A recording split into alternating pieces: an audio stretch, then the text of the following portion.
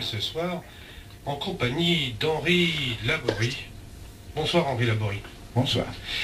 Toujours d'humeur aussi agréable. C'est un plaisir que de recevoir Henri Laborie, vous savez.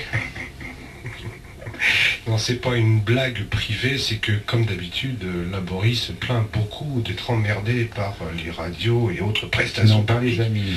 Alors qu'il a autre chose à foutre. Mais non, mais par les amis surtout. Bon. Henri Laborie est là ce soir pour son dernier bouquin, qui est paru il y a à peu près un mois, mais Laborie, J'espère que c'est pas pour ça. Laborie était en voyage, était entre autres au Canada, enfin c'est un homme très très pris. Et son dernier bouquin, qui est paru chez Grasset, s'intitule Dieu ne joue pas au dé. Alors, pourquoi ce, ce titre et avoir repris ce, ce mot d'auteur? Parce qu'il me semble, je peux m'être trompé, ça arrive souvent Laborie, il me semble que Dieu est un personnage globalement absent du bouquin. Non, Je c'est une, c'est une phrase d'Einstein. Et je voulais m'en appeler, sachant combien le terme de Dieu, chacun y met ce qu'il veut, euh, je voulais mettre Il ne joue pas au dé. Et puis euh, l'éditeur m'a dit non, c'est pas bien parce que la phrase d'Einstein, c'est Dieu ne joue pas au dé. On n'a pas trop le droit de tripoter les. Mm, Et en plus, je pense que sur le plan commercial, il va les mettre, j'allais mieux mettre Dieu, parce que les bonnes sœurs, les curés, tout ça, ça va, ça va vendre des bouquins. Là. Ils vont dire qu'est-ce que je. Les pauvres, hein, je le dis tout de suite d'emblée, les pauvres, si c'est le mot Dieu qui vous intéresse, achetez autre chose. Oui, euh, C'est- oui, c'est vrai, Je crois que justement, peut- peut-être, tu dis le Dieu n'est pas là-dedans, il est, il est partout. C'est ton Dieu, ton Dieu libertaire peut-être qui est un peu trop euh, limité. Il, euh, je me demande si tu as dépassé le stade où on voit un, un vieux monsieur avec une barbe blanche, des éclairs dans les mains sur un nuage. C'est l'anal, Non. quoi. Oui, non, mais c'est ça. Hein, le stade anal. Le? Le stade anal. Oh, je pense que tu es au stade phallique quand même. Tu l'as montré, tu as déjà deux enfants. Bon. Mais. Contrairement à Dieu, oui, moi j'ai eu deux enfants. Non, je pense que le dieu d'Einstein, c'était pas ça du tout. Et c'était euh, l'idée d'Einstein. Il a prononcé cette phrase dans une correspondance, je crois, avec euh, Niels Bohr. Niels Bohr, c'était la chromodynamique quantique, c'est-à-dire, euh, et nous avons vécu jusqu'à une époque très très récente avec cette notion que tout était hasard. D'ailleurs, euh, souviens-toi du livre de Monod, le hasard et la nécessité. Et effectivement, il y avait euh, toute la chromodynamique quantique, et toute la théorie quantique a été basée sur cette euh, notion d'Eisenberg, euh, qui est le principe de la certitude. C'est-à-dire que, c'est- c'est simple à comprendre, on s'est très rapidement aperçu que quand tu connaissais la vitesse d'un électron, tu ne connaissais pas sa position, et encore je parle de deux, de deux particularités de l'électron, entre autres, et quand tu connaissais sa position, tu, ne pouvais pas connaître sa vitesse. Donc tout était incertain. Et euh, Niels Bohr disait, bah, moi je crois qu'une chose, c'est ce que m'enregistrent mes appareils. Hein. Et Einstein croyait à une réalité qui dépassait la physique telle qu'on la connaissait, à une réalité que nous ne pouvons pas atteindre. Et euh, il appelait cette réalité inconnue euh, Dieu. Dans, dans un, pour se faire comprendre. Je ne pense pas qu'il concrétisait, justement, puisque c'est inconcrétisable. Donc, euh, pour se faire comprendre, Dieu ne joue pas au dé, c'est-à-dire que bien que nous ne comprenions pas, rien n'est imprévu, tout est euh, déterminé, si on veut. Alors, dès qu'on prononce ce nom de déterminisme, il y a encore toute une, euh, culture qui est un relan de la fin du 19e, où quand euh, j'ai quelque chose entre les doigts, si j'ouvre les doigts, ça tombe par terre parce qu'il y a la gravité. Bon. Et on croyait qu'il y avait une cause qui produisait un effet. Et puis maintenant, certains mathématiciens et physiciens commencent à, à partir d'ailleurs, en fait, des travaux de Prigogine, sur ce qu'il a appelé les structures dissipatives, à considérer même que le chaos est ordonné. Ce que nous appelons le chaos est ordonné. Et qu'il y a un déterminisme, mais qui n'est pas un déterminisme simpliste.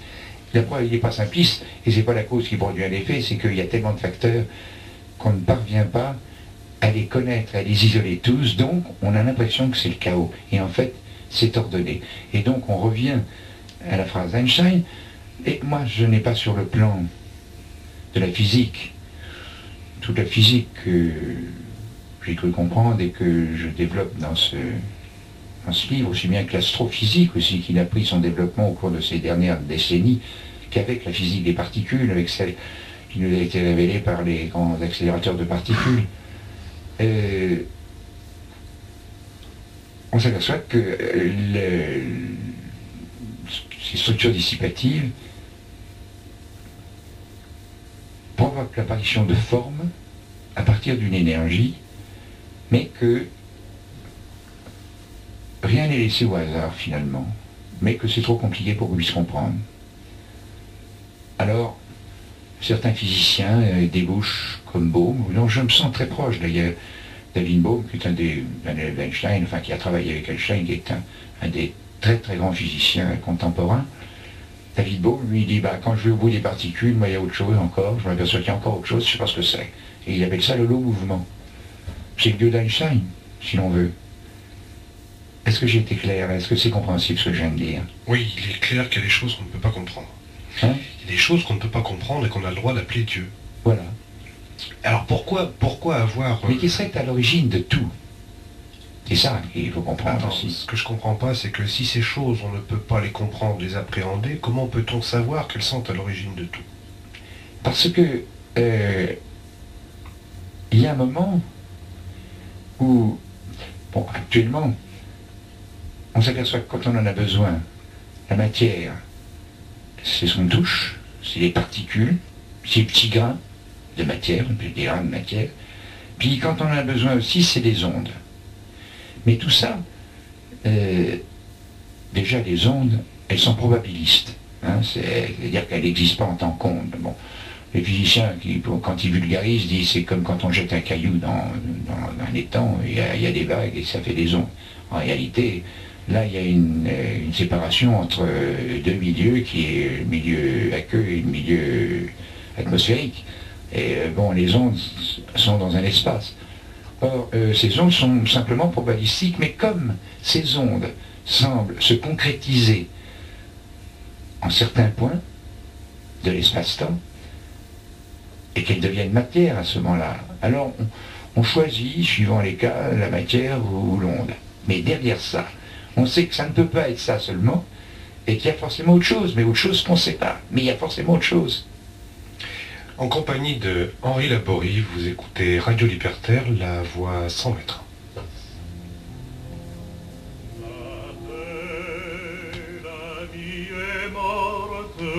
je pleurerai toujours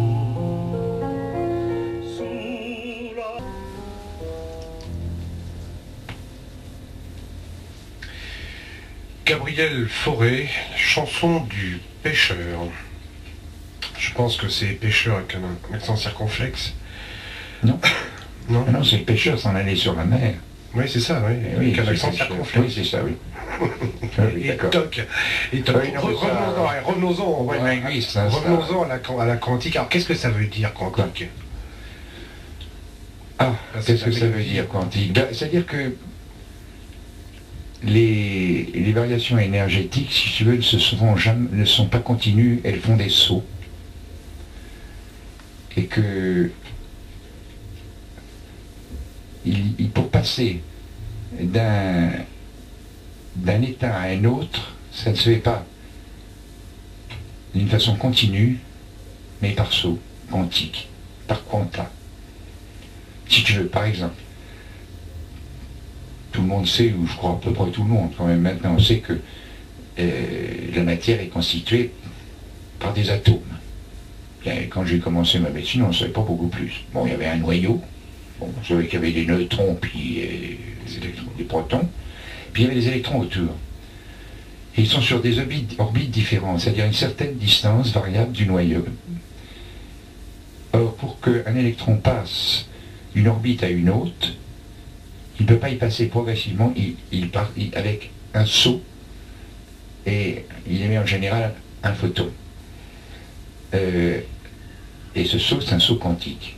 Voilà, c'est la, matière est quantifiée.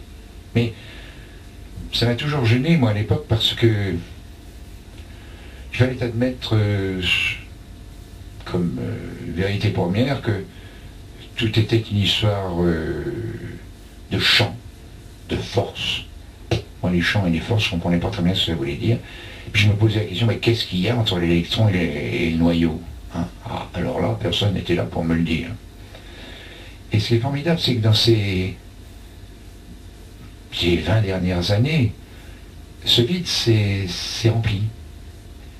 De même, déjà, à l'intérieur du noyau, il y a des, tas de choses. Hein. Euh, il y a des, des, quarks. Bon, c'est des petites choses qu'on n'a jamais vues, mais qui s'expriment, hein, que, dont on enregistre, je dis, les facéties. Et qu'ils sont rejoints par, non pas par du vide, mais euh, par ce qu'on appelle des particules vectrices. Elles ne sont pas particulières, tu ne les touches pas. Et par exemple, entre l'électron et le noyau, il y a un vide quantique. Mais ce vide quantique, c'est fait de matière et d'antimatière. Comme il y a les deux, ça s'annihile. Il reste de l'énergie et des photons qui se baladent. Bon. Si bien que, voilà ce qu'il est, grossièrement, là je suis très primitif si tu veux, ce qu'un biologiste peut comprendre. Mais pour un biologiste, c'est quand même très grave.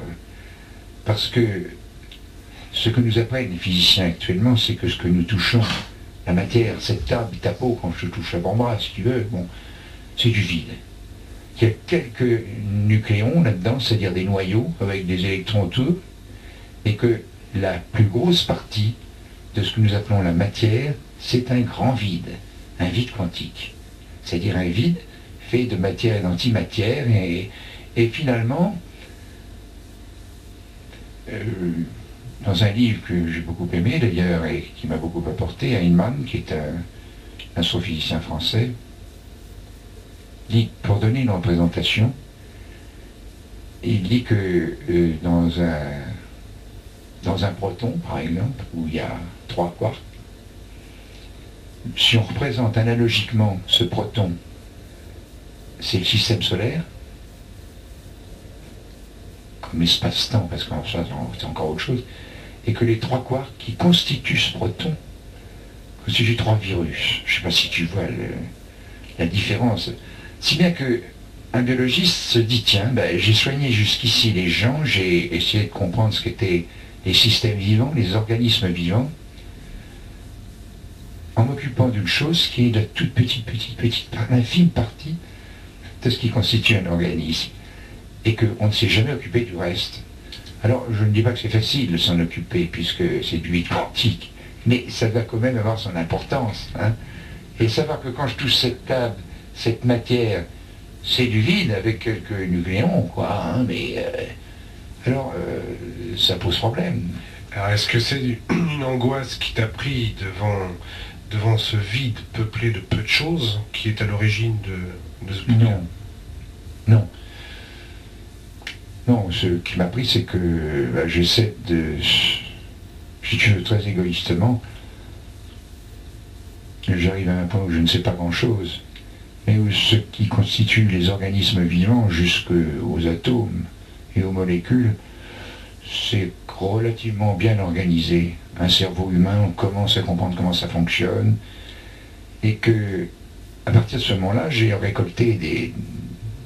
Et il y a déjà pas mal d'années, j'ai récolté ce que je pouvais lire dans les grands journaux les grandes revues euh, scientifiques, euh, des bibles pour les scientifiques contemporains que sont Science ou Nature, par exemple, de grands journaux non spécialisés, si tu veux, et dans lesquels il y a de l'astrophysique, il y a de la physique euh, des particules, il y, a, des tas de choses, et de la biologie. Donc pour la biologie, je lis et j'intègre ce qui est biologique. Alors, est-ce que c'est... Mais il y avait aussi, attends, je pour, pour comprendre pourquoi j'écris ici, il y avait aussi des, des articles qui m'intéressaient. Je lisais tout ce qui est mathématique euh, me passe au-dessus. En général, j'ai pas une culture mathématique suffisante, mais ces gens-là, euh, dans ce qui est écrit, on arrive à les comprendre quand même. Alors, j'accumulais des, documents, mais c'était une pagaille noire dans mon crâne. Hein, moi, les, gluons, les, maisons pi, euh, tout ce langage des particules, bon, alors je dis quand même un jour ça ne peut pas durer, je suis fait avec ces trucs-là, et il n'y a pas que des atomes en moi, il y a, tout ça. Alors, euh, qu'est-ce que c'est? Et puis il y avait des astrophysiciens. L'astrophysique contemporaine est née de cette évolution extraordinaire de la physique des particules. si on a commencé à comprendre, euh, ben, imaginez comment euh, notre, univers, qui est sans doute qu'un seul univers avec des quantités d'autres, hein, et déjà notre univers c'est quand même assez, assez volumineux, si j'ose dire, a été euh, dans les 30 dernières années, surtout à partir de la physique particulière. Alors tout ça, ça s'empilait, et je me suis dit, c'est pas possible, euh, c'est très joli d'être dans un laboratoire, d'avoir des appareils sophistiqués qui vous permettent d'aller assez loin dans, dans ce qu'il euh, y a comme molécules et comment ça fonctionne, d'un point de vue dynamique. Mais il y a ça, puis il y a ça. Je voudrais, moi, très égoïstement, moi, élaborer qu'est-ce que je fous là-dedans? Hein, qu'est-ce que je suis venu foutre sur cette planète? Qu'est-ce que c'est que cette planète? Voilà. C'est pas Dieu dans tout ça, c'est élaboré dans tout ça, quoi. Ah, bien sûr. Ouais. Oui. Et puis, j'ai eu l'impression aussi que hum, tu avais été un peu agacé par euh, les, prestations assez récentes, c'est un phénomène récent, des astrophysiciens. Euh, on en parle beaucoup, ils ont pendu des bouquins, on les a vus à la télé. Et l'impression, un peu envie d'aller leur tirer la, barbichette, euh, non? Oh, gens de oui, tu parles de, tu parles de ces... Oui, mais non, mais moi, je, suis, un très bon public pour les astrophysiciens, mais d'abord pour les physiciens. L'astrophysicien, c'est tellement, tellement étonnant et splendide et poétique, le monde qui nous découvre, que l'on est forcément copain avec eux, c'est pas possible autrement. Les physiciens, ce qui m'a gêné effectivement, c'est que, ayant tout cassé, ayant été momentanément, hein, parce que rien de pauvre que dans les quarks, il n'y a pas encore autre chose. Hein, ça... À part de la couleur. Oui, oui, et de la couleur. Oui, la couleur qui n'en est pas une, enfin, faut bien donner les noms. Quand on ne voit pas ce qu'on voit, bon, ce qu'on... on voit rien, mais on dit d'accord. Voilà, Il y a le charme, il y a, il y a une terminologie qui est... ludique. non, il y a une terminologie qui est, très, qui est très poétique, en plus. Alors, il débouche, leur semble-t-il, sur rien, et à ce moment-là, il débouche sur la mystique hindoue. Hein oui, la mystique hindoue. Oui. C'est pas le cas précisément de Rive. Hein. Ah non, Honoré Rive est un astrophysicien, c'est autre chose, mais les physiciens, du Capra, par exemple, dont je ne parle pas parce que justement, euh, j'aime pas. Tu sais, il y a une chose, tu peux chercher dans mes bouquins, euh, je, ne, je critique rarement les autres parce que j'ai autre chose à foutre que de critiquer les autres et de me faire une, certaine notoriété en disant que les autres sont des cons et il y, a, y moi qui ai compris. Donc, euh, je n'ai pas critiqué. Et au contraire, j'aime prendre, quand quelque chose entre dans ma vision du monde biologique, que ce soit de la physique ou de l'astrophysique, euh, j'essaie de, m'assimiler ça. Mais il y avait quand même des choses qui me gênaient, à savoir euh, cette, euh, cette mystique, où je voyais des, physiciens parler d'âme, d'esprit, de conscience, de pensée, etc. Alors que, en tant que biochimiste et biologiste, euh, on commence à voir ce que ça peut être, ça, du point de vue... Comment, comment la notion d'esprit, qu'est-ce que c'est que l'esprit pour un biochimiste ou un biologiste? Ce que c'est que la conscience, ce que c'est que... Euh, qu'est-ce que ça peut être que l'âme, etc. Alors, ils jonglent avec des mots, avec, euh, en partant de cette chose étonnante qu'ils ont un instrument étonnant qui leur permet de prononcer ou d'écrire ces mots-là, et qu'ils ne, savent absolument pas comment ils fonctionnent. Bien. Et ça, c'est déterminé. Alors là, alors là, je retrouve Einstein. Et si, j'ai choisi cette, phrase Einstein, c'est pas pour Einstein qui c'était un être étonnant, enfin bon, ce n'est pas là pour. Mais c'est parce que je retrouvais cette, ce déterminisme dans, je, le répète, n'est pas le déterminisme simpliste de la fin du 19e, je retrouvais en biologie, en biologie, et surtout en biologie du comportement. Alors, euh, j'ai voulu me situer, moi, c'est moi qui m'intéressais, dans cette espèce de chose étrange qui était ce que nous apprenons du cosmos, on apprenait de la physique des particules. est ce que je pouvais savoir, parce que là, je crois que je connais pas mal de choses, en 35 ou 40 ans, à lire tous les jours, et des heures et des heures par jour, et à travailler soi-même. Euh, donc, à utiliser les, idées des autres, mais en, en faisant de choses et en précisant un certain nombre de choses. Euh, je pouvais peut-être ajouter mon grain de sel dans ce cas. Si j'arrivais à ne pas faire trop d'erreurs dans ce que les autres m'ont appris. Mais comme depuis 35 ans, à une époque où c'était très mal vu, j'ai toujours fait ce qu'on appelle actuellement, il n'y avait pas de terme à l'époque, d'interdisciplinarité. Ça ne me gênait pas d'aller me balader encore une fois de plus dans, dans les plates-bandes, dans les territoires des autres, que ce soit les astrophysiciens ou les physiciens.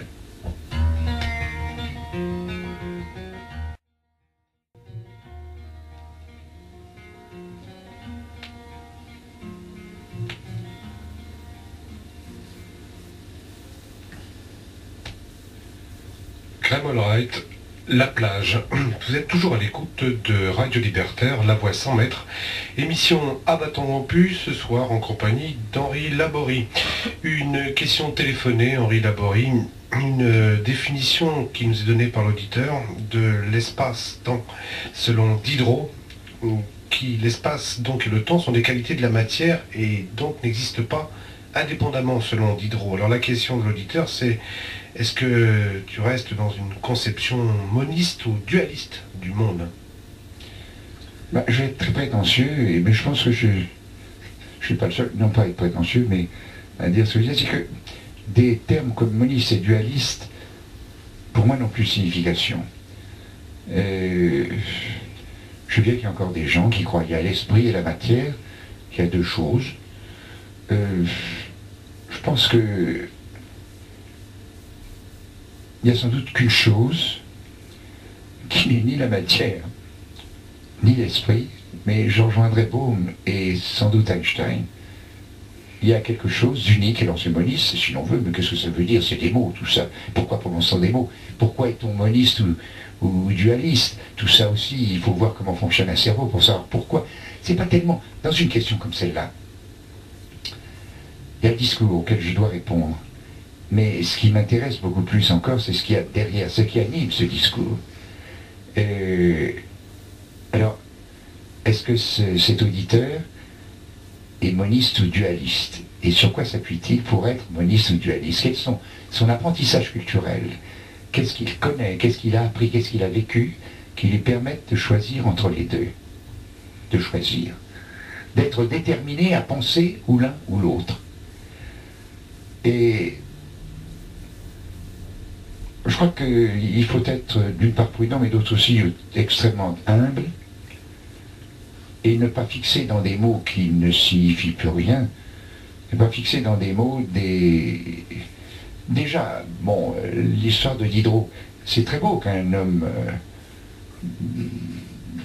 à l'époque de Diderot, ait pu dire, ce sont des caractéristiques de la matière. Ça, c'est déjà, c'est déjà, euh, c'est déjà faux. Euh, l'espace-temps, c'est toute la relativité einsteinienne, mais c'est la même chose. C'est pas, euh, pas deux propriétés de la matière. C'est la même chose. C'est nous qui, c'est nous qui donnons à la matière ces propriétés qui n'existent, qui ne sont pas désunies. Hein. Alors, euh, et c'est toute la relativité, ça. je, dans mon bouquin, je donne un exemple qui est pris par les physiciens en général quand ils veulent se faire comprendre du grand public. Si on prend une plaque de caoutchouc, une lame de caoutchouc, comme une, une boule, une, bille en plomb au milieu, la, plaque de caoutchouc va, se creuser. Si on met une autre bille sur la plaque, elle va, rejoindre la première. Elle va être prise dans le cône. Et au temps de Newton, par exemple, on disait, ben, c'est que deux masses s'attirent en fonction de leur masse et euh, d'une façon inversement proportionnelle au carré de la distance. C'est-à-dire plus elles étaient loin, moins elles s'attiraient, plus elles étaient proches, plus elles s'attiraient. Et plus elles étaient grosses, plus elles s'attiraient, plus elles étaient petites, plus si y avait une grosse une petite, la grosse était la petite, etc. Bon. Mais euh, cette, représentation de la relativité einsteinienne montre que ce n'est pas les masses qui s'attirent, c'est parce que l'espace, dès qu'il y a matière, l'espace devient courbe. Et comme là-dedans, les masses se déplacent à une certaine vitesse pendant un certain temps, ben, le temps et l'espace deviennent une propriété unique et euh, c'est nous qui, séparons l'espace et le temps. Alors, puis si, cet auditeur veut vraiment un mot, je Je crois pas qu'il n'y a pas l'esprit et le corps. Hein, nous sommes faits euh, de matière, mais cette matière est elle-même tellement complexe. Et euh, l'espace et le temps n'étant que la même chose, euh, c'est la façon dont nous appréhendons le monde qui nous entoure. Et ce que je trouve le plus étonnant, c'est que cette façon très primitive, très triviale d'aborder le monde, elle est faite par un esprit qui aujourd'hui est capable d'abandonner toutes ces notions simplistes. On croyait bien que la Terre était plate. Il a fallu euh, Copernic et Galilée pour nous apprendre qu'elle tournait, qu'elle était ronde. Bon, et puis que la, Terre n'était pas au centre de l'univers, mais que euh, c'était une planète, euh, il y en a bien d'autres, tournant autour du Soleil. Donc, ce qui m'étonne, c'est qu'un cerveau humain ait pu au cours des siècles, avec une accélération étonnante depuis 100 ans, disons, et même surtout 50 ans, avec une accélération étonnante, se donner une autre vision du monde, avec Einstein surtout, ça a été la, grande, innovation, une autre vision du monde avec un instrument qui n'a pas changé, mais qui a accumulé des apprentissages, des connaissances au cours des siècles, qui lui fait que l'homme n'est plus ce pour les, actuellement, l'homme n'est plus ce qu'il était il y, a, un siècle ou il y a deux siècles. Il est quelque chose de différent. Parce que il est inclus dans un monde dont il ne peut pas, il ne peut pas se séparer. C'est ça, en fait, le, chose dramatique. C'est que nous sommes dans un système autoréférentiel, c'est-à-dire que nous ne pouvons juger qu'en tant qu'homme. Pour nous juger en tant qu'homme, il faudrait que, pour juger le monde en tant qu'homme, il faudrait sortir de ce système et qu'à ce moment dans un autre système, lui-même à son tour autoréférentiel et qu'on n'en finit plus. Alors, ce que tu n'as pas dit, et que je pense c'est pour moi l'axe qui a conduit tout ce bouquin, c'est la notion de niveau d'organisation. On en était au début de l'émission. Oui, bon, mais alors ça pour moi c'est fondamental. Alors, est-ce que tu veux bien, avant qu'on en arrive au, niveau de l'organisation, qui est effectivement quelque chose d'essentiel dans le bouquin, pas seulement dans celui-ci, que, que tu reviennes sur la notion de déterminisme? Bon, euh, L'éterminisme tel que beaucoup de gens le voient encore, il y a un, facteur, une cause, qui produit un effet. Alors déjà, euh, la cybernétique nous a rendu prudents. Parce qu'on a constaté que il y avait de multiples causes qui produisaient de multiples effets. Et pas tout.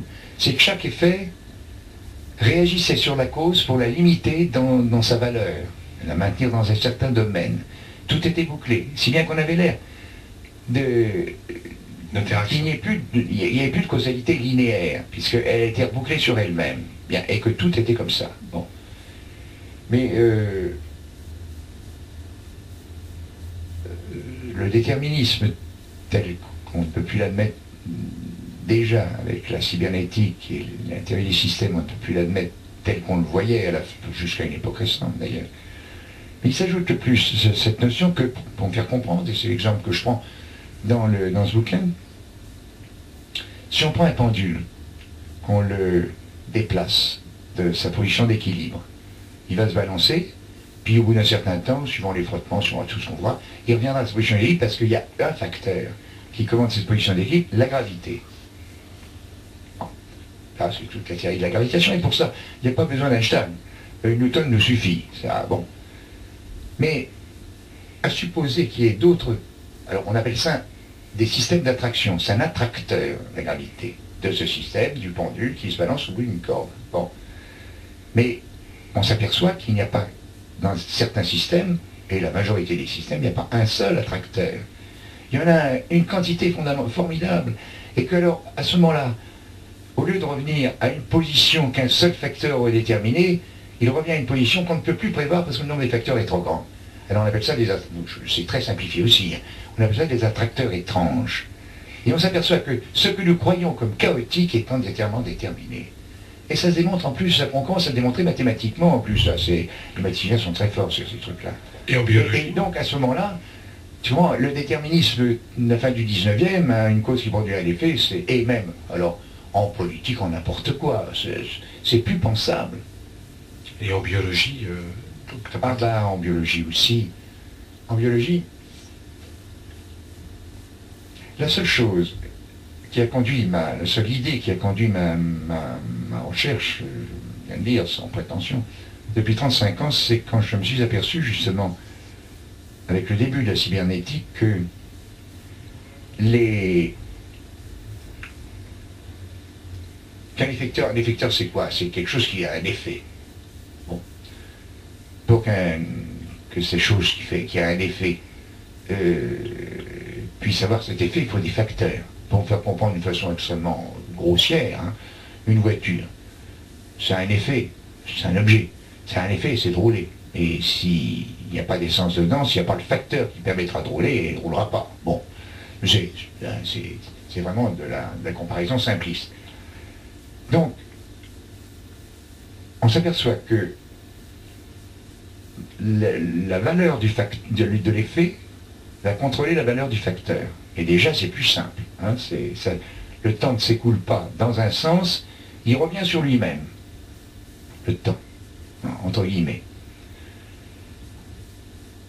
Et puis je me suis aperçu que les systèmes vivants, bah, il y a des systèmes régulés, c'est ce qu'on appelle un système régulé, ça, dans lequel l'effet contrôle la valeur des facteurs. On en avait partout, depuis la molécule, l'atome à la molécule, tout, la cellule dans l'organe. Et que si tout était régulé, il n'y a pas de raison que ça bouge, puisque c'était justement le principe de fonctionnement d'un régulateur, c'est de bâtir l'effet à une Encore un autre exemple pour me faire comprendre, parce que je pense que les auditeurs qui nous entendent euh, ont peut-être autre chose à foutre dans la journée que, d'aborder ces problèmes. Et je les comprends fort bien. Il faut qu'ils se nourrissent et qu'ils vivent. Un, un bain-marie, c'est un exemple que je prends tout le temps. Il y a 30 ans que je l'utilise, peut-être pas 30 ans, mais au moins 20 ans. Un bain-marie, c'est un aquarium, il y a de l'eau dedans, puis il y a une résistance chauffante, et comme dans une cellule ou un organe, il y a une énergie dite potentielle qui rentre, c'est de l'électricité, et qui est transformée par ce qu'on appelle un principe anthropique, si tu veux, bon, en énergie, en, chaleur. Elle se dégrade. Elle ne se perd pas, elle reste intacte. Elle devient autre énergie. En fait. Elle devient, elle, elle, n'est plus, elle est plus capable de fournir un autre travail. Elle devient chaleur, elle va chauffer l'eau. Alors si, suivant les caractéristiques de l'appareil, tu peux avoir de l'eau à 37 degrés. Bien. Mais euh, un bain-marie, ça sert dans un laboratoire des tas de choses. Et tu as besoin quelquefois d'avoir une, eau à 12 degrés ou à 60 degrés. Alors tu vas venir de l'extérieur du système, toi, et tu vas, faire, tu vas transformer la régulation. Or, tous les nouveaux d'organisation, les molécules, les organismes intracellulaires, les cellules, les organes, qui s'associent en système, les systèmes qui s'associent en individus, ils ne t'arrêtent pas, les individus dans un groupe social, familial, confessionnel, euh, syndical, tout ce que tu voudras, les, les, ces, groupes sociaux euh, dans les nations, dans les États, c'est pas la même chose, euh, ces États dans, sur la planète, tout ça sont des systèmes régulés, mais qui sont commandés par le système qui, comme toi, tu es venu transformer la régulation de ton bain-marie, ils sont transformés par, par une information et une énergie qui vient de l'extérieur.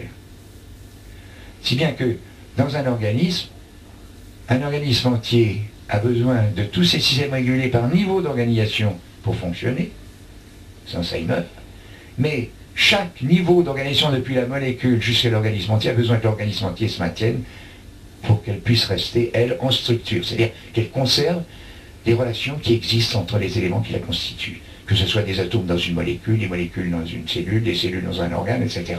Elles ont une certaine structure, une certaine fonction, et pour que ça, pour ça conserver, il faut que l'ensemble puisse être lui-même et conserver sa structure.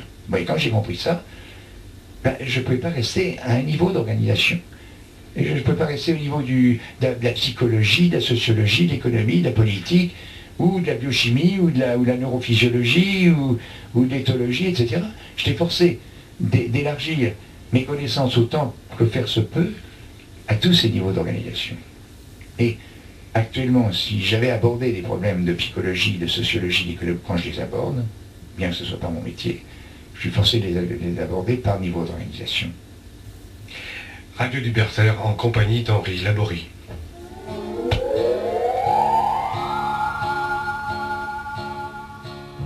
Dans une ville où je passais.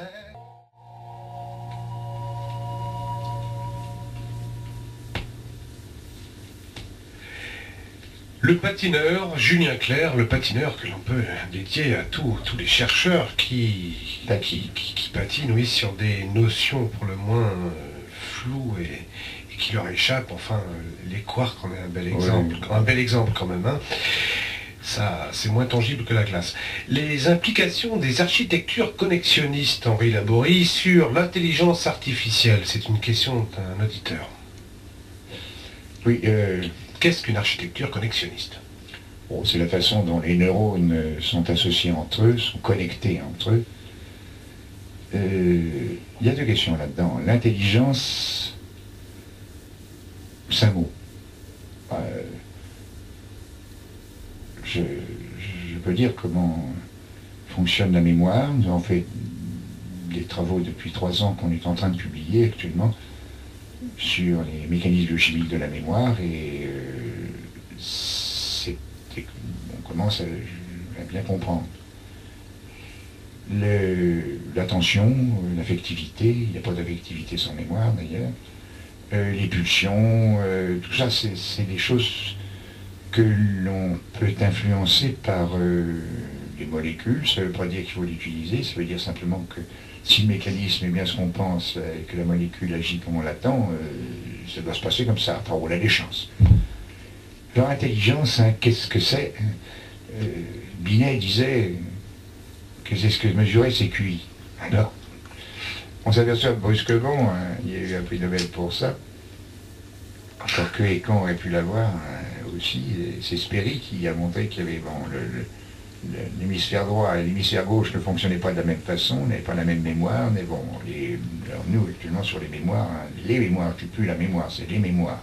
On ne se souvient pas dans les mêmes voies nerveuses de ce qui a été agréable, de façon très très simple, de ce qui a été agréable ou désagréable, et ces voies nerveuses ne sont pas animées par les mêmes médiateurs chimiques, etc., euh, etc. Bon, donc, euh, et on, maintenant, on, je commence à comprendre et influencer pharmacologiquement tel type de mémoire et d'apprentissage. Bien. Alors l'intelligence, je ne sais pas ce que c'est. Euh, ça permet de dire, alors, si tu es intelligent, il est sorti de, il est sorti de Polytechnique ou de l'ENA, en fait, euh, il a une bonne mémoire, quoi. Il a bien appris ce que les autres lui avaient, fait, avant lui. Il n'a rien apporté de nouveau. Bon, mais il est intelligent puisqu'il a, une bonne mémoire. Déjà, mais si. en fait, ça veut dire aussi qu'il est motivé à s'élever dans une hiérarchie qui vaut mieux sortir de Polytechnique que de Centrale. Oui, bah, s'élever dans la hiérarchie même euh, pécuniaire. Euh, pour avoir... Euh, et comme on peut être actuellement quand on a un certain pouvoir, bon, alors on est motivé à faire ce qu'il faut pour devenir intelligent. C'est ce qu'on appelle l'intelligence. Enfin, en tout cas, tu peux nous dire ce que n'est pas l'intelligence artificielle. Alors, attends, j'arrive à l'intelligence artificielle.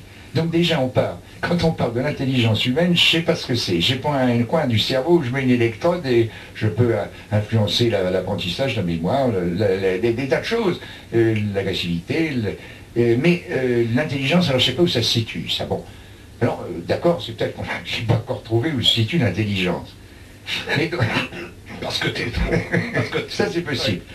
Et alors, sur, cette notion d'intelligence, qui n'est qu'un mot, ça ne dépasse pas le stade du mot actuellement, mais un mot qui sert dans nos sociétés actuelles, qui sont des sociétés de, compétition, à dire qu'un type, s'il est arrivé à être dominant, c'est parce qu'il était intelligent. Alors, de là remonter au gène, dire que c'est parce que c'était génétique, mais je vous n'y pouvez rien, je suis devenu un PDG, mais c'est parce que moi, mes, mes machins, bon. Alors, j'en reviens pas sur cette notion là, ce qui est important à dire, je crois, c'est que on copie des fonctions. Je pense que on peut faire des mémoires beaucoup plus efficaces et beaucoup plus stables et fiables que la mémoire humaine. On peut faire même des, des, appareils analogiques qui permettent de mélanger ces mémoires d'une façon originale et de faire quelque chose de neuf. De créer des, structures qui n'existent pas et qui peut être neuves. Mais c'est copier des fonctions, ça. Si, tu veux, je pense que lorsque...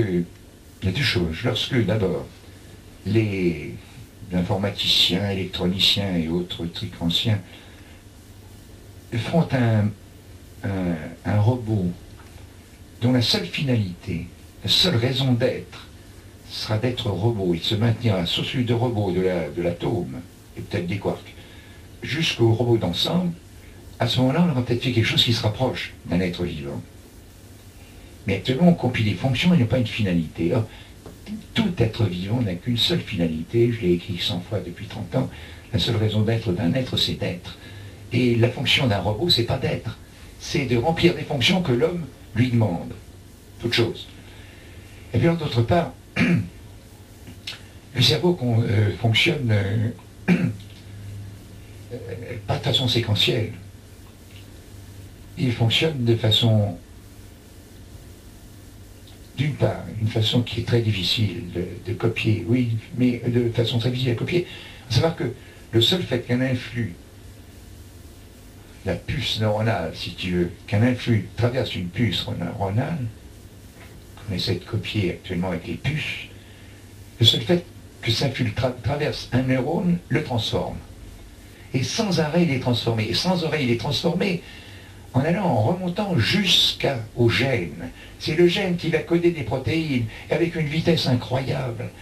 Alors, bien sûr, on me dira, mais l'électricité pas plus vite que l'influx nerveux. Ben, je suis d'accord, hein, mais en fait, la transformation qui va résulter à chaque instant, dans chaque neurone, du passage d'un influx nerveux, actuellement, c'est absolument pas représentable par une machine. Alors, je pense que le travail des, gens qui s'occupent de l'intelligence artificielle peut déboucher sur un instrument qui rendra service à l'homme, comme euh, par exemple l'avion nous a permis de voler alors qu'on ne pouvait pas, se casser la figure, on sous des dans le dos. Euh, je pense que ça peut être, on ne peut même pas imaginer ce que va être, ce que va donner euh, l'informatique et l'évolution de ces sciences dans les années qui, suivent, qui vont venir. Et ce que je veux dire, c'est qu'avant de copier, non pas une intelligence, mais un fonctionnement, parce que justement un être vivant n'est pas un être intelligent. Et non. Et son intelligence se limite à rester en structure, c'est-à-dire à se faire plaisir, comme disait Freud, ou à conserver son homéostasie, comme disait Canon, et conserver la constance des conditions de vie dans son milieu intérieur, comme l'a dit avant euh, Claude Bernard. C'est ça la raison d'être d'un être. Il n'y en a pas d'autre. Et je répète, quel instrument, quelle, copie actuelle a comme finalité de rester ce qu'elle est, envers et contre toutes les variations de l'environnement, de la molécule, et je dis de la molécule en commençant très haut dans les niveaux d'organisation, la molécule au, robot tout entier. Voilà, là le problème pour moi, pour moi maintenant. Hein, je ne tire pas la vérité. Euh. La seconde partie de la question de l'auditeur va peut-être pouvoir te permettre d'aborder les niveaux d'organisation, c'est quelles sont les implications des architectures connexionnistes sur les visions mécanistes de l'intelligence humaine? Ben, Ça m'est très difficile d'y répondre, d'un que je ne crois pas à l'intelligence. Ça n'existe pas, c'est un mot. Alors, répète la question, peut-être que je... Les implications des architectures connexionnistes les connexionnistes, déjà, ce n'est pas simplement connexionniste un cerveau c'est pas simplement les connexions, c'est beaucoup plus riche et complexe. Un neurone, bien sûr, on le décrit grossièrement comme ça, il y a, une synapse entre deux neurones, c'est connecté. Et quand on voit la complexité, là je me débat dedans depuis euh, pas mal d'années déjà, et aujourd'hui ce que c'est devenu, c'est un, truc épouvantablement complexe, dont on ne comprend pas toujours justement la connectivité. Et c'est pas la connectivité qui importe. C'est pas parce qu'ils sont connectés, c'est parce qu'ils sont connectés, mais si ce n'était que ça, on aurait un circuit électrique, et c'est pas un circuit électrique, le cerveau. Quelle est l'autre question qui tombe? L'autre question qui tombe euh, permettra plus, facilement d'aborder les, niveaux d'organisation. Ah, c'est une question très générale. La Constitution de 1793, nous dit l'auditeur, déclare dans son article premier le but de la société est le bonheur commun. Cela ne résume-t-il pas les prolongements philosophiques et politiques des travaux de Laborie Je cite. Notamment les niveaux d'organisation. Et je cite encore, cela ne justifie-t-il pas aussi l'anarchisme? Le but de la société est le bonheur commun. Euh, si, si but y compris dans un sens cybernétique. C'est-à-dire que, bah oui, mais c'est ça. Je peux rien. Si le but d'une société, bon, mon œil, quand je dis ça, mon œil, mon œil, mon œil, il n'a pas été fait pour voir. Les sociétés n'ont pas été faites pour avoir un but.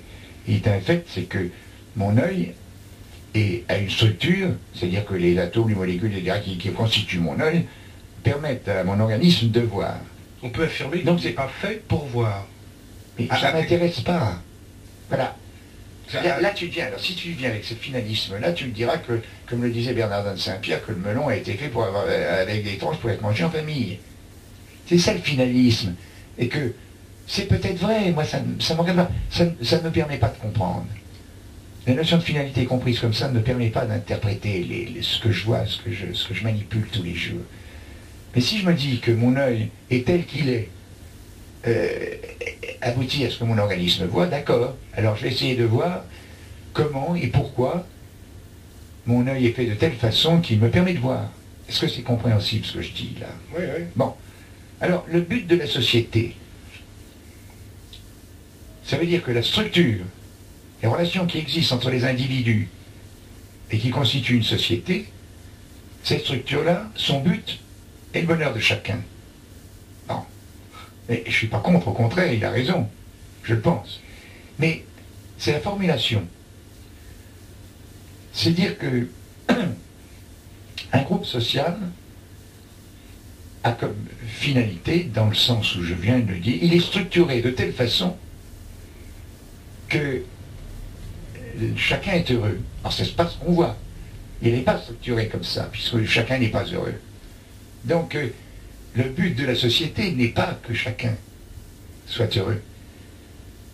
Le but de chaque individu étant d'être heureux, c'est-à-dire, comme je l'ai dit tout à l'heure, de maintenir sa structure et d'être bien dans sa peau, si tu veux, effectivement, on débouche sur cette notion que pour le réaliser, il faudrait que la société provoque ait des relations interindividuelles qui permettent à chaque individu d'être heureux.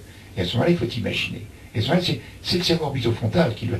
Mais euh, je suis, si tu veux, que je critique dans ce premier chapitre, ce premier machin des droits de l'homme, ou de je sais pas quoi, euh, c'est de définir au départ il y a- Monsieur Staline pouvait dire le, le but de la société, c'est que le Parti communiste euh, et le président suprême euh, permettent aux gens d'être heureux. on ne peut pas définir de l'extérieur. On peut définir de l'intérieur. Et quand on voit que ça ne fonctionne pas, ben, il faut imaginer autre chose. Alors, que chacun de nous ait comme but, parce qu'il veut être heureux, que l'ensemble dans lequel il est puisse lui permettre d'être heureux, ça fait que l'ensemble dans lequel il est constitué d'individus, ça permettra peut-être que tous les autres soient. Mais il y a des gens qui sont très heureux dans ce type de société dans laquelle nous vivons. Il y en a d'autres qui sont très malheureux. Et elle est, cette société. Est-ce que je me fais comprendre là Oui. Je pense, oui. Alors, les, pro- les prolongements philosophiques euh, et politiques, alors et politiques, il faut prendre dans son acception philosophique euh, le terme, je pense, des travaux de Laborie, notamment quant au niveau d'organisation. Ah, bien sûr. Revenons-en donc à ces problèmes de, de société. Bon, Compétition. Entraide et compétition. oui. euh, Deux, deux phases antinomiques. je ne vais pas reprendre ce que j'écris depuis 25 ans. Là, on retombe sur la notion de finalité. À savoir que quand il dit que la finalité de la société, oui, que la, je oui. et que chacun soit heureux, Le bonheur commun, oui. si cette même société dit j'ai comme finalité de dominer l'autre, c'est ce qu'on voit depuis 12 000 ans, enfin, mettons 6 000 ans, en tout cas, sérieusement, et que si on domine l'autre, c'est par compétition entre les individus pour faire des marchandises, si l'homme est sur la terre pour faire des marchandises, et si ça atteint le bonheur en dominant l'autre par la vente de ses marchandises, bah, c'est un fait, c'est ce qui se passe. Et non seulement, alors là, niveau de l'organisation, non seulement les individus entre eux, mais les groupes sociaux, les États, les groupes, les blocs d'États, etc. Donc, là, la finalité de l'individu ne veut pas rejoindre la finalité de l'espèce, parce que terminé, tu ne peux tu ne peux t'en sortir qu'avec la notion d'espèce. Et qu'est-ce qu'on voit? On voit une compétition. Et là, tu m'entraînes vers ce que j'ai dit dans ce, dans ce livre. Je ne sais même pas si je ne l'avais pas dit avant. À savoir que l'évolution s'est faite. Et si nous sommes dans une, étape où nous, devons, où on peut espérer que ça évoluera,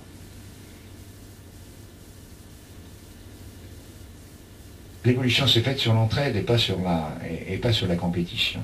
Alors je voudrais ajouter que, outre dans l'inhibition de l'action qui est paru chez Masson et que je pense que très peu d'entre nous ici ou à l'écoute ont pu lire, parce que c'est un ouvrage, je crois, réservé aux, aux initiés, encore, et, encore, il met des réserves, Laborie, où l'on trouve cité Pierre Kropotkin, tu, dans Dieu ne joue pas au dé, tu, nous tu recites Pierre Kropotkin au niveau de donc l'anarchiste Pierre Kropotkin au niveau de, de l'entraide comme facteur déterminant d'évolution de la société, bien plus que la alors je voudrais très loi de la jungle. Le temps passe et c'est un problème quand même très important. C'est qu'actuellement les, les, Japonais, les Japonais sérieux, que dont, euh, on étudie les travaux dans Science, alors tu comprends, hein, dans ça, qui commencent à discuter Darwin. Ah oui, non mais. Ah mais oui, il y, a des Japonais sérieux, je suis d'accord. Non, mais ce que je veux dire, ce que, je veux dire quand je parle sérieux, c'est-à-dire qu'ils ne sont pas simplement à rentrer en compétition pour nous vendre leurs marchandises. Et, ah, des, gens qui, pensent euh, à autre chose qu'à vendre des marchandises. Pas seulement productivistes. Voilà, pas les chercheurs. Hein. Oui. Et euh, ces gens-là commençaient à dire, bah, Darwin s'est trompé. Ce qui est une bonne nouvelle, a priori. Oui, j'ai pas. Bah, il faut préciser justement. À un niveau d'organisation, il, il ne s'est pas trompé. Mais à d'autres niveaux, il s'est trompé, c'est vrai. C'est ce que j'essaie de dire. Et euh, ces Japonais disent, euh, ben, le, darwinisme ou le néo-darwinisme, euh, c'est plus fort qui gagne, c'est plus fort qui pourra se reproduire, donc parce qu'il il, persiste alors que les autres disent et est mieux adapté. je terme dangereux, je pourrais encore leur faire, on faire toute une, toute une séance sur l'adaptation. Bon, hein, une tarte à la crème, un mot qui sert à tout et à rien, parce que justement, il ne signifie rien. Bon, euh, aussi, il peut signifier quelque chose, mais en général, c'est pas comme ça qu'on l'utilise. Donc, le mieux adapté, c'est celui qui va survivre, c'est celui qui va se reproduire, et c'est celui qui va dominer. Bien. Donc, euh, c'est le mieux adapté qui, euh, qui est bien avec le Seigneur. Parce que dans une société puritaine comme la société anglo-saxonne, quand tu réussis auprès de tes semblables, admirer, congratuler, c'est que le bon Dieu t'aime. Bon. Tu l'as lu. Et ça correspondait très exactement le, darwinisme correspondait très exactement à cette idéologie politique anglo-saxonne. Alors les Japonais commencent à dire, bah, c'est pas vrai. Bon, c'est le groupe qui compte.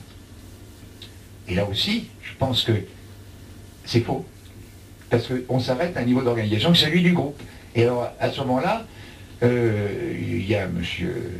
Nakasone, là, qui a dit, bah, si Japonais dominent le monde, il a écrit ainsi un japonais domine le monde actuellement du point de vue commercial, euh, etc.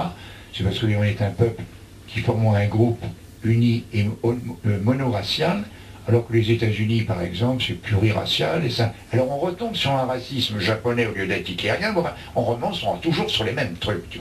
Dès que tu restes au groupe et que tu ne penses pas espèce, c'est foutu. Alors il y a des faits qu'on ne peut pas discuter. Il y a quand même de grandes étapes de l'évolution pensais qu'il sera plus facilement compréhensible parce que l'autre m'entraînerait trop loin. Mais on sait bien quand même que les systèmes vivants sur la Terre, les êtres vivants sur la Terre ont commencé par des êtres unicellulaires, une seule cellule. Non, non, avant ça, non, je parle d'après ça. Déjà, il y avait des cellules. Et euh, ces cellules se sont associées pour faire des êtres pluricellulaires. Ensuite, ils n'étaient plus rien passé jusqu'à l'homme. Bon. Les cellules pluricellulaires, quand elles sont associées, c'était pas par compétition, ni par le plus fort qui gagnait, c'est par entraide. Ni par amour d'ailleurs, on peut le dire en passant. Amour, non, par, par entraide, un, par nécessité. Un, mot que. Oui, amour dangereux. dangereux. bien dangereux. L'amour du gangster, l'amour de. Bon, L'amour de l'argent. Oui, c'est tout ce qu'on veut, l'amour. Non, dire par nécessité et par entraide. Oui, on sait par exemple maintenant, depuis euh, une vingtaine d'années, il y a des gens qui l'avaient soupçonné déjà à la fin du siècle dernier puis qu'il avait retrouvé d'ailleurs aussi entre 20 et 30, euh, mais on s'en était pas, on s'était pas intéressé. On sait que par exemple nos cellules actuellement contiennent des petites machines qui s'appellent les mitochondries. Euh, tout un truc sur les mitochondries d'ailleurs avec les notions, euh, j'avais dit à Henri Atlan, puis qui ont été maintenant sont devenues très connues. ces mitochondries, elles ont pris naissance quand l'oxygène moléculaire est apparu dans l'atmosphère, qu'il a fallu se débrouiller avec, parce que c'est le toxique majeur de tous les systèmes vivants. L'oxygène, c'est le poison de la vie. hein. Voilà, Ouais. c'est euh, c'est un biradical, c'est horriblement toxique. Bon. Et on espère que Mi- Michael Jackson, qui s'est fait faire un caisson à oxygène pour vivre plus vieux, va Bah, crever va crever plus vite. Alors là, moi, je me suis occupé des plongeurs sous-marins en Ah, plongeant l'oxygène, j'aime mieux dire que ça Tant fait pas bon. Eh bien, quand ces, ces, ces, ces, ces- ces nouvelles, ces nouveaux êtres vivants sont apparus, il y avait des, des- des êtres vivants qui étaient avant eux et qui, qui avaient un, système qu'on appelle fermentaire, c'est-à-dire que euh, ils ne pouvaient pas vivre avec, avec de l'oxygène. Bon. Eh ben, les seconds, les, les récents, les nouvelles, sachant utiliser l'oxygène, ont pénétré les anciens par symbiose et ont fait nos cellules. Il n'y a pas d'évolution considérable. Bien. On s'en est aperçu parce que finalement, on se voit que les mitochondries ont leur propre gène qui est capable de synthétiser une partie de leurs protéines sans avoir appel au fait du noyau. Remarque alors là, les théories wilsoniennes, euh, un gène, euh, etc. Mais non mais c'est gênant. Et en plus, toutes les mitochondries viennent de la femme. Rien n'est passé par l'homme. Dans le, le, spermatozoïde, Alors, il ce les qui donne- abandonne. Ce qui euh, donne raison à la Torah juive. Exactement, je dis ça en rigolant. Ouais, en d'ailleurs. rigolant, Bon. Mais je veux dire, là, il y a aussi symbiose et entraide. Et c'est une étape considérable de l'évolution. Faut pas croire que notre période est un... Bon, alors la compétition a peut-être, et sûrement même, à partir d'un niveau d'organisation, quand il, quand il existe, à ce moment-là, les nouveaux, le nouvel organisme, la nouvelle étape qui est réalisée, chaque individu va prendre, va rentrer en compétition avec l'autre, pour le territoire, pour la propriété, etc. Bon. Je pense que au stade où on est l'espèce humaine, la compétition, qui a peut-être, qui a même sans doute servi à l'évolution technologique, mais qu'est-ce qui nous a pris en plus sur ce que nous sommes? Il y a eu les philosophes, il y a eu les, penseurs, comme on dit, qui ont, qui ont écrit, puis voilà, ça a amené à quoi? À pas grand-chose. On se tue aujourd'hui plus que jamais, bon plus que jamais, mais au moins autant, avec des, moyens beaucoup plus sophistiqués, beaucoup plus précis et efficaces. Et euh, et il n'y a pas de progrès de ce côté-là, parce qu'il n'y a pas de progrès dans la connaissance de la façon dont fonctionnait un cerveau humain. Et comment on en est arrivé là? C'est l'instrument qui sert aux rapports humains, c'est ce cerveau. Et c'est la meilleure connaissance de son fonctionnement qui permet de d'imaginer qu'on peut faire autre chose. Et alors à ce moment-là, actuellement, il n'y a que qui puisse planétiser l'espèce humaine et, et- faire un progrès, un, progrès évolutif. Pas d'autre.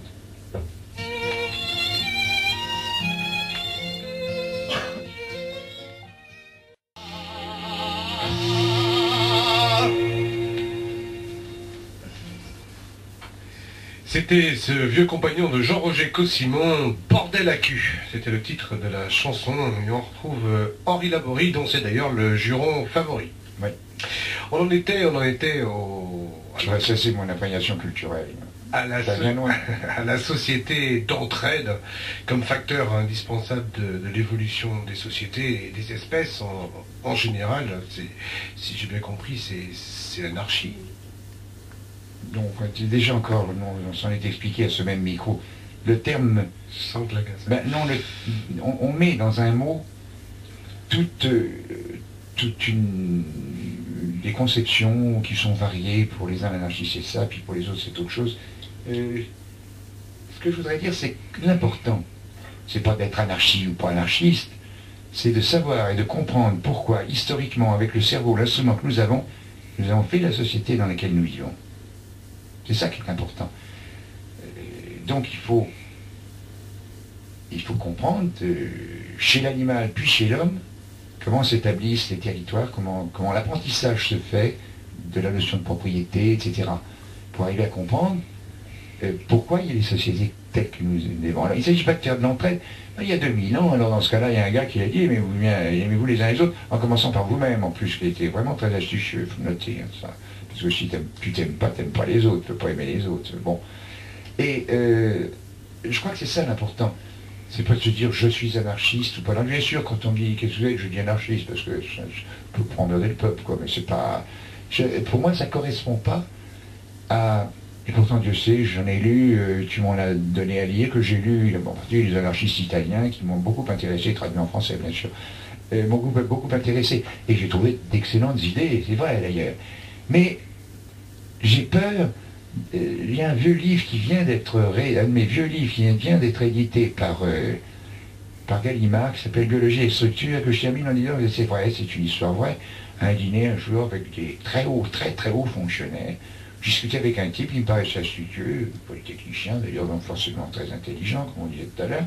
Et le, type euh, très gentil, ça collait très bien. Et puis petit à petit, j'ai vu qu'il sortait. Et à un bon moment, il me dit ah, ben, J'ai compris, vous êtes en périocriticiste.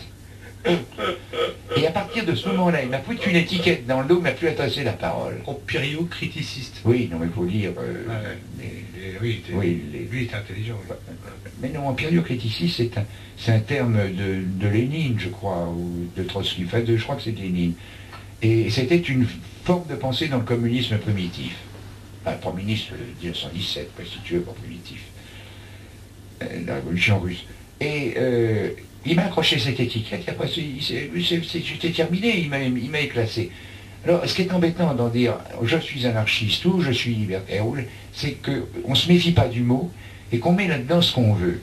Et que l'attitude des individus, si vraiment l'anarchie régnait avec, cette, avec ce mot-là, ce serait, ce serait, euh, on retournerait à ce que nous faisons. Parce que les mots, on se tue pour des mots.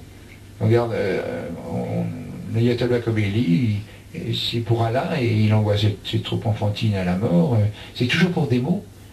Alors je méfie du mot anarchiste en disant, bon, bah, je répète, pour moi, il y a à comprendre comment historiquement un cerveau d'homme, depuis, surtout depuis 6 ou 8 000 ans, est arrivé à réaliser les sociétés dans lesquelles nous nous trouvons.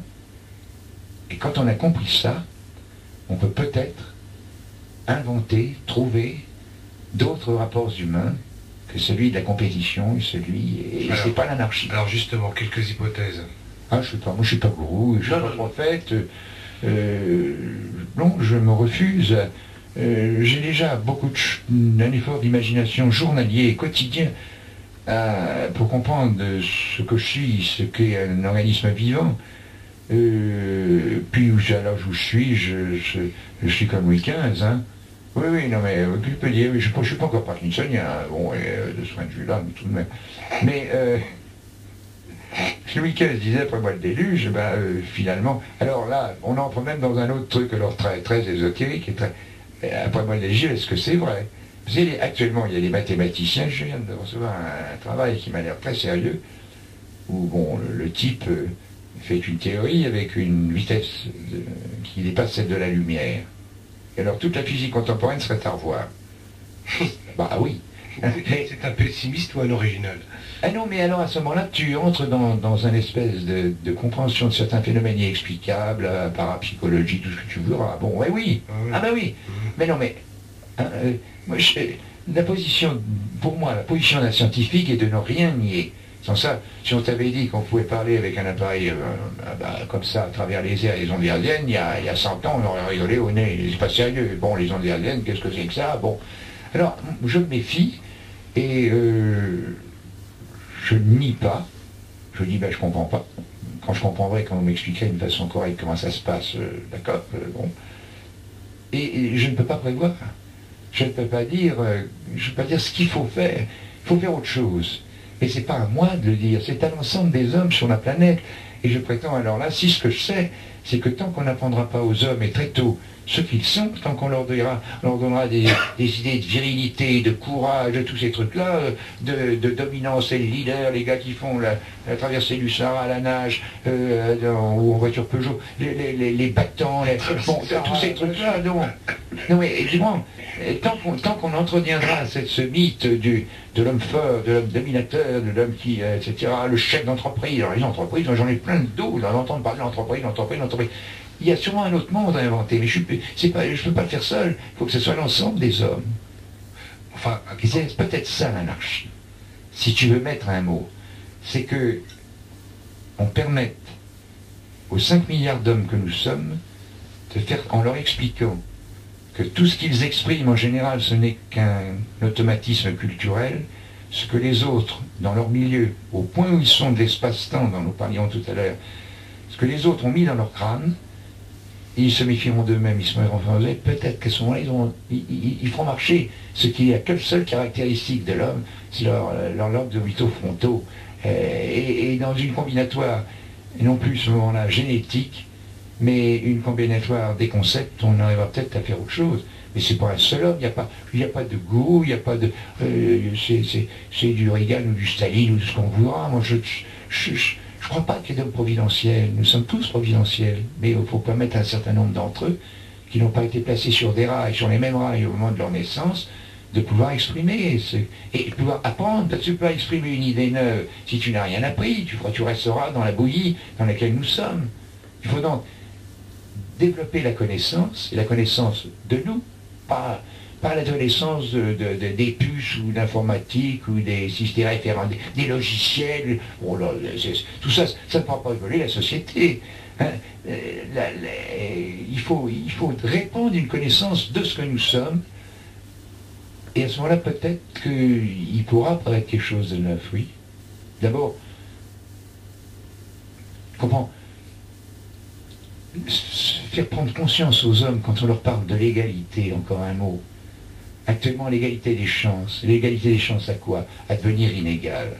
À foutre la tête de l'autre sous l'eau comme, comme au water polo. C'est ça l'égalité des chances. À quoi devenir? Devenir inégal. Et comment tu veux-tu avoir une, société égalité alors que c'est l'égalité à devenir inégal? C'est dans, ce système-là, c'est pas possible. C'est comme la liberté, je ne reviendrai pas encore. Dès qu'on sera débarrassé de ces mots, je pense qu'on verra qu'ils ne signifient rien les choses qu'on se contente d'être. Qui sont des espoirs. Hein Qui sont des espoirs. Des espoirs. Ben, même pas des espoirs. La liberté, c'est pas un espoir. Elle n'existe pas. Elle ne peut pas exister. Bon, l'égalité non plus, telle qu'elle est comprise. Et telle que, dans un monde comme celui, à partir du moment où tu apprends à un gosse qu'il faut qu'il soit premier en classe, c'est foutu. Il n'est plus égal, puisqu'il faut qu'il soit premier. Alors, euh, on tombe tout de suite dans l'inégalité. Donc, euh, je crois que c'est ça qu'il faut comprendre. À partir de ce moment-là, on prend de la distance avec soi-même d'abord, et puis avec les autres. Et la première distance que je prends avec moi, c'est que je ne suis pas gourou, je le répète, et que je n'ai rien à dire sur le monde du futur. Lisez quand même le dernier livre d'Henri Laborie, Dieu ne joue pas au dé, chez Grasset, ça coûte 78 francs. Merci Henri Laborie et à la prochaine. Oh, écoute, la prochaine, ne... Un autre projet en préparation Ah non, bouquin, oui, ah bah non, peut-être, oui, ça j'en suis... Oui, bon, laisse-moi souffler un peu. Hein? Oui, il y, a, tant de choses à faire, mais enfin... Euh, ce qui m'ennuie, tu comprends, dans les... Là, j'ai réussi à ne pas faire de biologie. Enfin, si. Et euh, ne pas reprendre euh, ce que je reprenais dans mes derniers livres, à tel point qu'il y a eu un je suis passé à une radio un jour, qui s'appelle, un type charmant d'ailleurs, qui s'appelle euh, Adrénaline. Et euh, il y a un type qui téléphone, comme on vient de le faire. Il dit, bah voilà, j'ai acheté le livre de Laborie et euh, il dit que je commençais comme ça dans la préface. J'ai encore une minute pour... oui, je t'en vas-y, vas-y, vas-y. Dans la préface, je disais, ceux qui pensent, qui ont lu mes livres précédents et qui pensent, la colombe assassinée, et qui pensent qu'ils sont déjà suffisamment renseignés sur la biologie du comportement, peuvent commencer tout de suite à la page 93. Bon. Alors il y, a un type qui téléphone et qui dit, mais moi j'étais tout à fait rendu, j'ai lu tous les livres de Rabory, enfin du moins les livres de, grande diffusion, euh, j'ai lu grande diffusion de vulgarisation. Bon. Et euh, alors qu'est-ce que je dois faire pour me faire rembourser des 93 pages? Ah, Parce que je ne les ai pas lues, je commence juste à la 93e. Bon, ben écoutez, c'est simple. Vous prenez le prix du livre, vous divisez par le nombre de pages et vous multipliez par 93. Et puis vous m'envoyez la facture. Mais ne répondez pas le bruit parce qu'à ce moment-là, je vous me metteriez, comme on dit dans la marine, la gamelle à cul. Merci Henri Laborie. On vous laisse en compagnie de Jazz en Liberté.